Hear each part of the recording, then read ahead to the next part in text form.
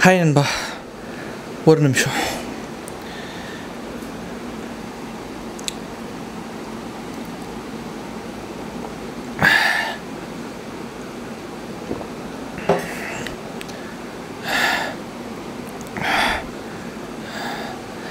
ஏலே இப்படி பண்ணுறீங்க கடைசி ஓவர் கடைசி பால் வரைக்குமா போகிறது ஆ? ஆனால் உன்னோடா ஒரு பழைய சிஎஸ்கே மேட்ச் கடைசி ஓவர் கடைசி பால் வரைக்கும் அந்த ப்ரெஷரை ஏற்றி இறக்கி ஏற்றி இறக்கி எப்பா ஒரு வழி பண்ணிட்டாங்க. ஓகே கேகேஆர் ராகுல் திரிபாதி சுமன் கில். ஐயோ பேரே வர மாட்டேங்குதா திரிபாதி ரணா பேர் மாற்றி சொல்லிட்டேன். அவங்க ரெண்டு பேரை தவிர வேறு யாருமே வந்து பெருசாக இன்றைக்கி வந்து அடித்த மாதிரி தெரில ஸோ மித்த எல்லாருமே இருபது அந்த மாதிரி ரேஞ்சில் தான் அடிச்சிருந்தாங்க. ஆனால் டீம் ஸ்கோர் பார்த்தீங்கன்னா ஒரு டீசெண்டான டீசென்ட்டுன்னு சொல்கிறத விட ஒரு அபோவ் ஆவரேஜ்னே சொல்லலாம். ஒரு ஒன் செவன்ட்டி ஒன் ஒரு நல்ல ஒரு ஸ்கோர் வந்துச்சு. பட் இருந்தாலும் சிஎஸ்கேவோட பேட்டிங் லைனப் பார்த்தீங்கன்னா ஒன்றுலேருந்து எட்டு வரைக்குமே வந்து பேட்ஸ்மேன் தான் வச்சுருக்காங்க.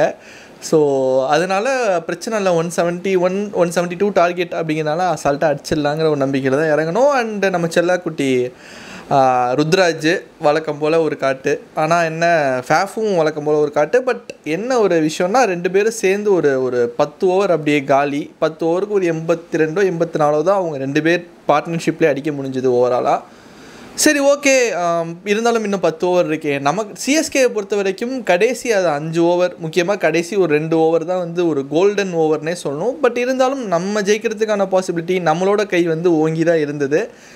ஓகே அதுக்கப்புறம் பார்த்தீங்கன்னா விக்கெட்டாக விக்கெட்டாக நம்ம ரெய்னா விக்கெட்டு ரன் அவுட் ஆனதில் இப்போ அப்போவே வந்து சான்ஸ் அப்படியே இப்படி ஆயிடுச்சு.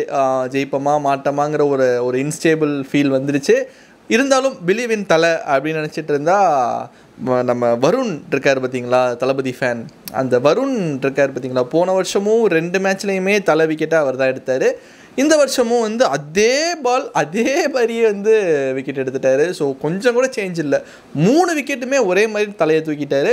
சரி தலையும் அவுட்டு அதுக்கப்புறம் இப்போ யார் இருந்தான்னு பார்த்தா நம்ம சுட்டி குழந்தை பிராவோ உட்கார வச்சு நம்ம சுட்டி குழந்தை எடுத்துருக்காங்க ஸோ சுட்டி குழந்தை வழக்கம் போல் எப்போவுமே வந்து இறங்கின உடனே ஒரு மூணு பால் சிக்ஸு ஃபோர்ன்ட்டு அடிச்சுட்டு அவுட் ஆனாலும் பரவாயில்லன்னு சொல்லிட்டு இறங்கின உடனே அடித்து ஆடக்கூடிய ஒரு ஆள்னா நம்ம சுட்டி குழந்தை தான். சரி சுட்டி குழந்தை இன்னொரு பக்கம் வந்து ஒரு பெரிய ஒரு ஒரு ஹோப் ஜடேஜா இருந்தார்.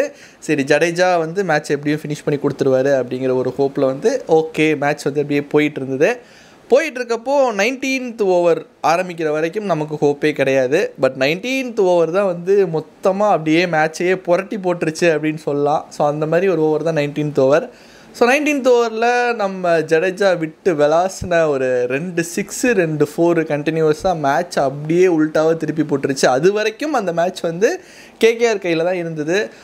ஸோ அப்படியே உல்ட்டாவாக திருப்பி போட்ட அந்த ஓவர்னால் நைன்டீன்த் ஓவர் தான். ஸோ ஒன் மேனாக நின்று மேட்ச் மொத்தமே மாற்றி கொடுத்துட்டாரு. ஸோ ஜடேஜாவோட பெர்ஃபார்மன்ஸ் வந்து லாஸ்ட் டூ இயர் வந்து சான்ஸ்லெஸ்ஸு தலை அவுட் ஆனாலும் இன்னொரு தலை மாதிரி நம்ம ஜடேஜா வந்து ஆடி கொடுத்துட்ருக்காரு. ஒரு ஃபினிஷிங் பண்ணிட்டு இருந்தார் ஸோ அந்த மாதிரி தான் இந்த வாட்டியும் பண்ணார். ஸோ ஜடேஜா இருக்கிற வரைக்கும் அவ்வளோதான் மேட்ச்சே நம்ம கைக்கு வந்துருச்சு. பட் இருந்தாலும் லாஸ்ட் ஓவர் வந்து நம்ம சுனில் நாராயண்கிட்ட கொடுத்தாங்க. ஸோ ஒரு சின்னதாக ஒரு பீதி. கம்மியாக தான் ஸ்கோர் அடிக்க வேண்டிய ஸ்கோரும் நம்ம எடுக்க வேண்டிய ரன்னும் பாலும் ஈக்குவலாக இருந்தது. பட் சுனில் நாராயண் போடுறப்போ ஃபஸ்ட்டு பால் நம்ம சுட்டி குழந்தை வந்து அவர் போக்கில் அடித்தார் சிக்ஸு போச்சு. அப்படியே அழகாக கையில் போய் உட்காந்துருச்சு சுட்டி குழந்தை அவுட்டு.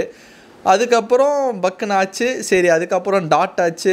இவர் சர்தார் தக்கூர் வந்து டாட் ஆச்சு அப்புறம் மூணு ரன் ஓடினாரு. ஸோ நீ தொட்டு விட்டா போதும்லாம் நினச்சப்போ பின்னாடி அழகாக வந்து அடித்தா பிடிச்சிருவாங்க இல்லைன்னா ஒரு சிங்கிள் தான் கிடைக்கும்னு சொல்லிட்டு பின்னாடி தட்டி விட்டு மூணு ரன் ஓடிட்டாரு. அப்பாடா ஜெயிச்சிட்டோண்டா அப்படின்ட்டு ஒரு நிம்மதி பெருமூச்சு விட்டால் போதும். சிஎஸ்கேக்கு அது எப்போவுமே பொறுக்காது. எப்படி நம்ம வருஷ வருஷம் இந்த மாதிரி தானே கடைசி அந்த ப்ரெஷரை ஏற்றுறப்போ வந்து நம்ம நிம்மதியாக இருக்கவே விட மாட்டாங்க இந்த சிஎஸ்கே பட் இருந்தாலும் அது ஒரு த்ரில்லிங்கான ஒரு மொமெண்ட்டு தான். அது ஒரு நல்ல ஒரு ஃபீல் ஸோ எப்படி சினிமா படத்துலலாம் பார்த்தீங்கன்னா வச்சுக்கோங்களேன் நிறைய படங்களில் வந்து ஒரு சூப்பரான படம் அப்படின்னு நம்ம கொண்டாடுற நிறைய படங்களில் பார்த்தீங்கன்னா அந்த கிளைமேக்ஸ் ஃபுல்லாக அந்த செகண்ட் ஹாஃப் ஃபுல்லாக பரபர பரபர பரபரன்னு போயிட்டே இருக்கும். திடீர்னு பார்த்தீங்கன்னா தேவையே இல்லாமல் ஒரு பாட்டு போட்டு அந்த ஒரு பீக்கை வந்து டவுன் பண்ணுவாங்க. டவுன் பண்ணதுக்கப்புறம் கிளைமேக்ஸ் வந்து மறுபடியும் அதை விட இன்னும் பீக் கொண்டு போவாங்க. ஸோ அந்த மாதிரி நம்ம ஜட்டு விக்கெட் ஆகிட்டாரு ஜட்டு விக்கெட் ஆனால் அது கன்ஃபார்மாக தெரியும் விக்கெட்டு அப்படின்னு சொல்லிட்டு. பட் இருந்தாலும் ரிவ்யூ எடுத்து அதுவும் விக்கெட்டுன்னு கன்ஃபார்ம் ஆகி இப்போ வந்து ஆட்டையே வந்து யார் பக்கம் அப்படிங்கிற மாதிரி ஒரு மறுபடியும் தராஸ் வந்து இப்படி ரெண்டு பக்கமும் சமமாயிடுச்சு. யார் ஜெயிப்பாங்கன்னு சொல்லிட்டு தெரியல. பட் அந்த ஒன் ஒன் அப்படின்றதப்போ மேட்ச் ட்ரா ஆகிடுச்சு பட் சூப்பர் ஓவர் போயிட்டு மறுபடியும் நம்ம சுனில் நரேனுக்கு கொடுத்தாங்க அப்படின்னா ஓப்பனிங் ஓப்பனிங் வந்து நம்ம ஃபேஃபு இப்போது இவங்கெல்லாம் இற- இது ருத்ராஜ் இறங்குவார். இல்லை யார் இறங்குனாலும் சரி சுனில் நரேனை பொறுத்த வரைக்கும் ரொம்ப அதிகமாக அடிக்க முடியாது. சிக்ஸு ஃபோர் போகிறதே வந்து ரொம்ப கஷ்டம். ஸோ கண்டிப்பாக அவர் தான் போட விடுவாங்க. சூப்பர் ஓவர் போனாலும் அது கொஞ்சம் ஆபத்தில் தான் முடியும்.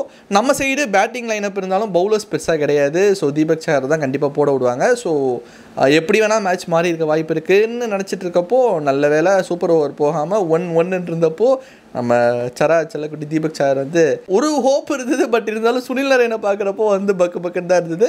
ஸோ இழுத்தடிப்பாரா? இல்லை வந்து பக்கத்துலேயே அடிச்சுட்டு ஓடுவாரா? இல்லை ஃபோர் சிக்ஸ் ட்ரை பண்ணுவாரா? அப்படின்னு சொல்லிட்டு இருந்தப்போ தூக்கி தான் அடித்தார் அழகாக ஒரு ரன் ஓடி மேட்ச் ஜெயிச்சாச்சு. பட் இருந்தாலும் ஒரு அதான் சொல்கிறேன்ல ஸ்டார்டிங்கில் சொன்ன மாதிரி ஒரு ஒரு ஒரு டிப்பிக்கல் சிஎஸ்கே மேட்ச் எப்படி இருக்கும்?